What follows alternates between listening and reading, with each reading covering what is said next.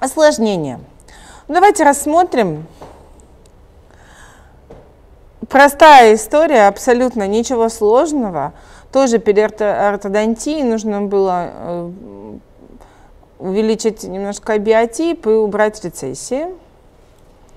Операция прошла прекрасно, все было замечательно. Даже я вот тут такой этот ласточкин хвост выкроила, чтобы вот на два зуба убрать межзубной сосочек красиво. Корональное перемещение с твердой мозговой оболочкой, красота, все кровит, все такое пышущее здоровьем. Пациентка, э, ну, она не очень возрастная, ей лет 50, по-моему, на тот момент было.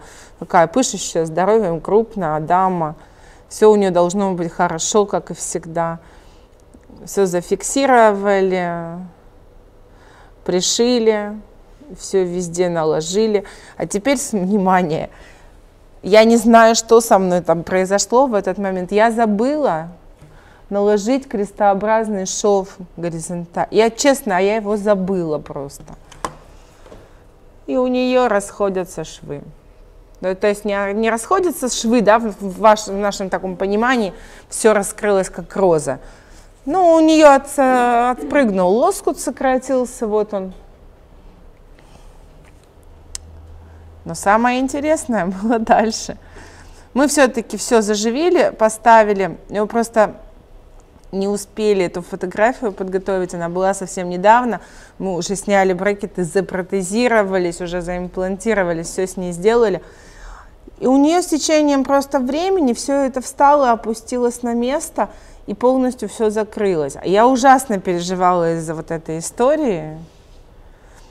Но мы приняли решение не, не оперироваться второй раз, посмотреть, пока подождать. Если что, всегда на, можно остановиться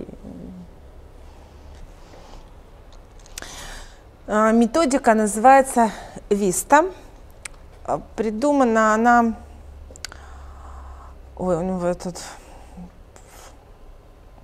Он американец индийского происхождения. Алексей, я его забываю.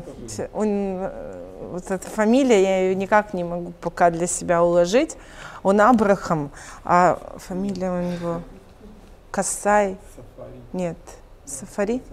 Найдите, пожалуйста, я просто скажу вам. Это методика вестибулярного перемещения туннелей в, корональном направлении. Я вам ее покажу сейчас.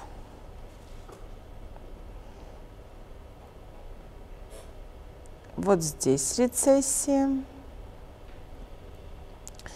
ее нет. В основном беспокоили пациента вот на 26-м зубе рецессии, на 27-м и получается на 24-м. 25-й был без патологии. Это постортодонтические рецессии.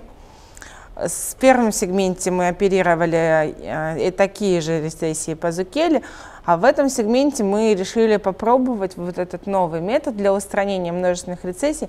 У него есть одно преимущество перед зукелем, этот метод можно применить при любом классе по Миллеру, даже если у вас нет сосочков, и сейчас вот я сделала последние несколько работ, вот буквально вот с августа по сегодняшний день, когда я одномоментно еще во время этой операции, у автора этого нету, к сожалению, а, создавала сосочки, туннелируя да, и вытягивая их э, в межзубное пространство. И вот этот метод, он позволяет устранять рецессии, создавать сосочки одновременно, даже при э, четвертом классе. Вот. То есть э, меня всегда вот смущало в этой методике Зукели, что мы ограничены да, высотой сосочка. Если у нас его нет, то все, мы разводим руками. А здесь позволяет даже...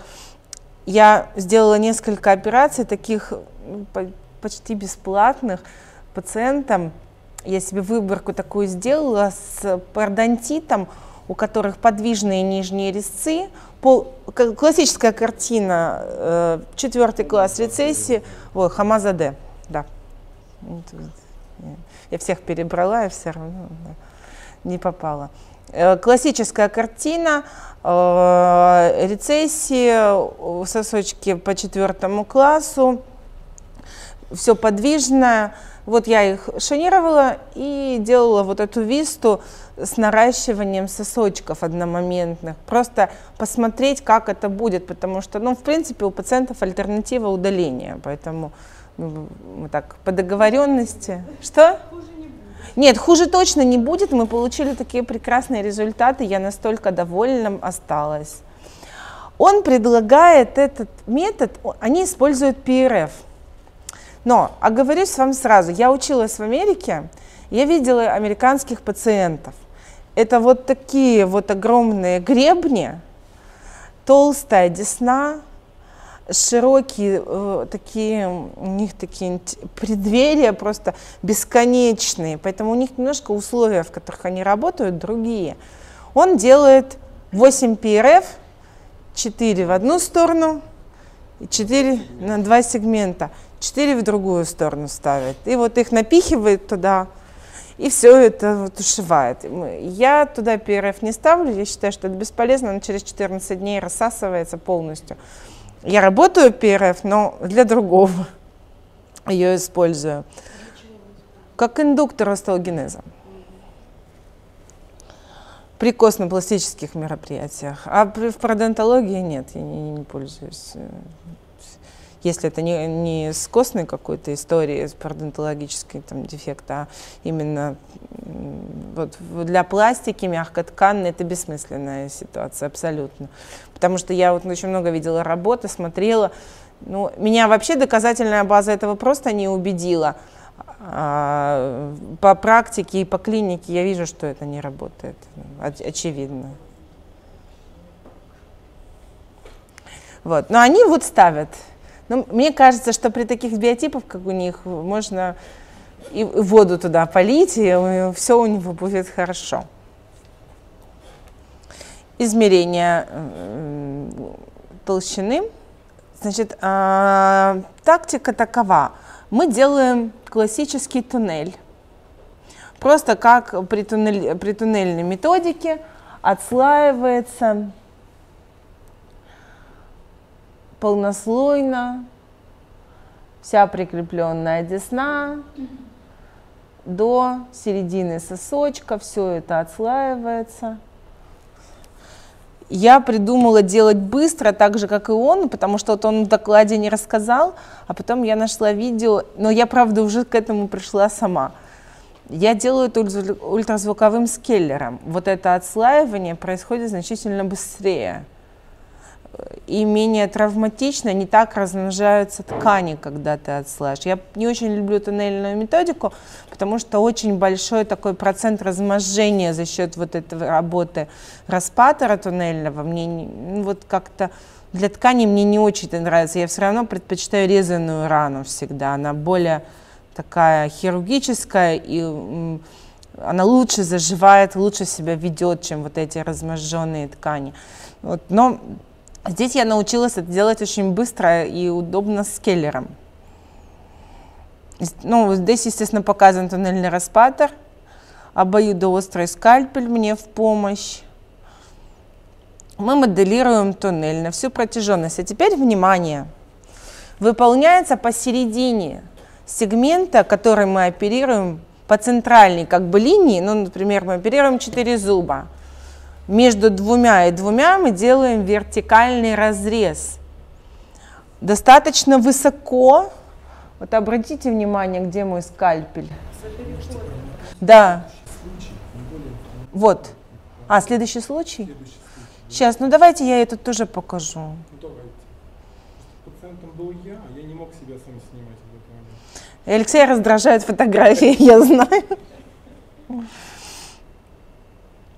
Вот так. И теперь мы из этого разреза выходим э, распаторами в наш тоннель и отслаиваем все с двух, в две стороны, туда и туда. Ну, это чтобы да, понимать, сколько материала нужно будет, это измерение. Обработка, все то же самое, твердомозговая оболочка, зона специфическая курета. Теперь вот что новое, э, интересное в этой методике. Сначала вы делаете композитные швы.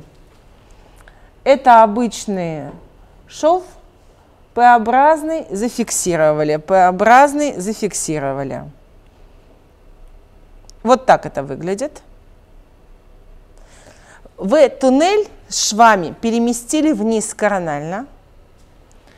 Потом заводится туда э, пластический материал, укладывается.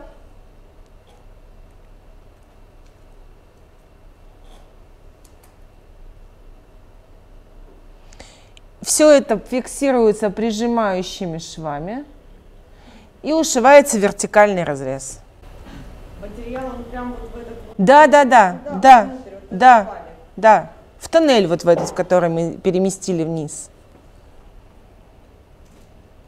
Мобильность, а, да, вот этого туннеля мы достигаем расщеплением, так же, как и всегда э, вестибулярно. А если там этот материал был А вот для этого и у, у, не- у автора, у него вот этих прижимающих швов нету крестообразных, а у меня есть, потому что я всегда думаю, что у меня может куда-то сместиться материал. Да, я поэтому прижимаю. Но может быть, потому что он PRF пользуется, и поэтому а у него там что сместилось, что не сместилось.